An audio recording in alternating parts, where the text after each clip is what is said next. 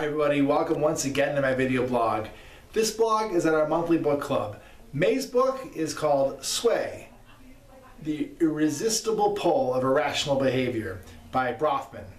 What a great book. It examines human behavior and a couple of the, a couple of the takeaways that I uh, came up with is the fear of loss is a much greater motivator than the opportunity for gain.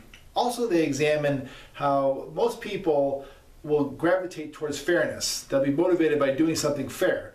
What's very interesting though is what I may consider fair may be different than what you consider as fair. And that especially uh, differs from culture to culture. So a couple great things they looked at in the book. Um, they, they, also examined uh, human behavior that you gravitate towards your expectations. The single biggest factor that uh, dictates playing time for a new NBA player in the league for the first five years is not points, not rebounds, not not steals, not defense. It's their draft position.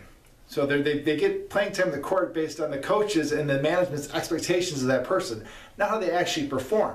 It's kind of like when you go on a first date with somebody and, and you set your expectations and you have your thought of that person in your head.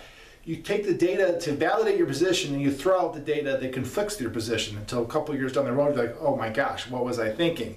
So very interesting book about human behavior. It's Sway. There is, this, there is irresistible pull of irrational behavior. I hope you enjoy it. You know the drill on reimbursement. Have a productive day.